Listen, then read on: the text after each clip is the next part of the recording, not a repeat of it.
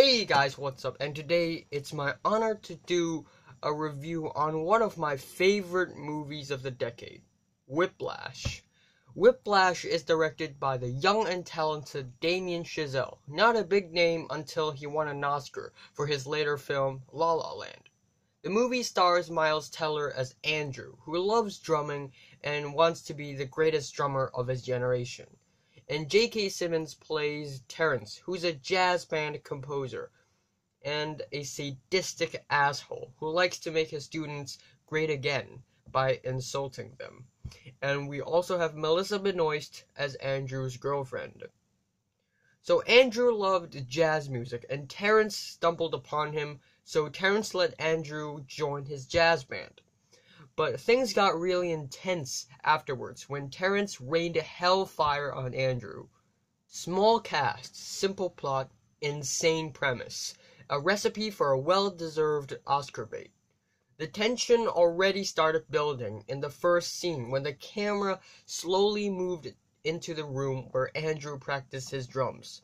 The drum beat of the soundtrack kept accelerating and it was already getting intense. Then there goes the introduction of Terence Fletcher, straight and simple. His unstable and unpredictable actions made his character stand out. Then we have the build up for the drama when we were in Andrew's shoes. We can empathize him for having such a huge passion for what he likes. Then we sympathize him for being treated like this. At first, Terrence seems like a nice guy.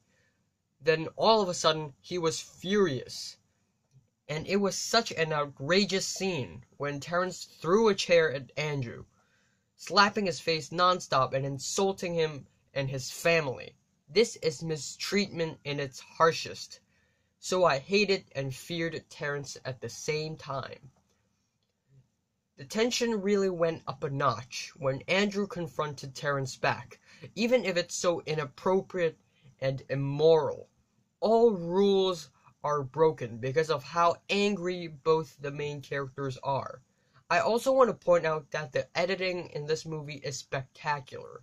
When the jazz music cues in, the scene turned into something like a montage, and it was an eccentric impulse montage. And the musical score was brilliant. It emerged into the story and into the cinematography very smoothly.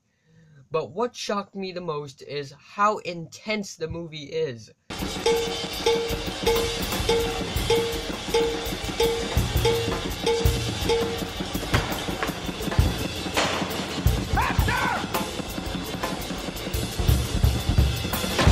In a world where ambition is everything, even more important than love and family, everyone would go so far just to achieve their desires.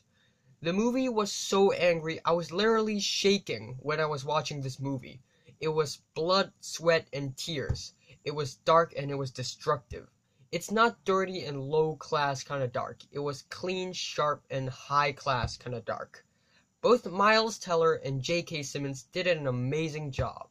Damien Chazelle exceeded my expectations on the directing department. I love this movie more and more as time goes by. I'm saying Whiplash is definitely mind blowing, and I'm definitely gonna give it a 10 out of 10. Perfect score. So, have you watched Whiplash? From 1 to 10, how much would you rate it? Like if you like, and subscribe if you want more.